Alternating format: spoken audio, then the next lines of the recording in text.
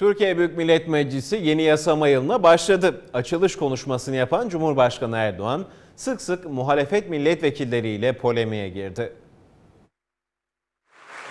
Türkiye Büyük Millet Meclisi'nde yeni yasama yılı başladı.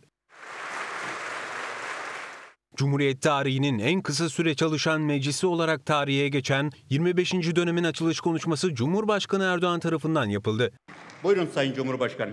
Açılışa MHP, CHP ve HDP genel başkanları katılmadı. HDP grubu Erdoğan konuşmaya başlarken genel kurulu terk etti. Erdoğan konuşması sırasında sık sık muhalefet milletvekilleriyle polemiğe girdi. Rahatsız mı oldun? Rahatsız mı oldun? Ben sayıyorum. Ben sayıyorum. Gereği neyse onu yapın. Terör örgütlerini doğrudan veya dolaylı olarak siz bu kürsülerin çok acemisiniz. Ben nereye hitap edileceğini çok iyi bilirim. Siz daha öğreneceksiniz. Biz o bölgeye çok gittik. Siz kaç kere gittiniz onu söyleyin. Kaç kere gittiniz onu söyleyin. O bölgelerde teşkilat bile kuramadınız, kuramıyorsunuz. Gidin o bölgelerde çalışma yapın.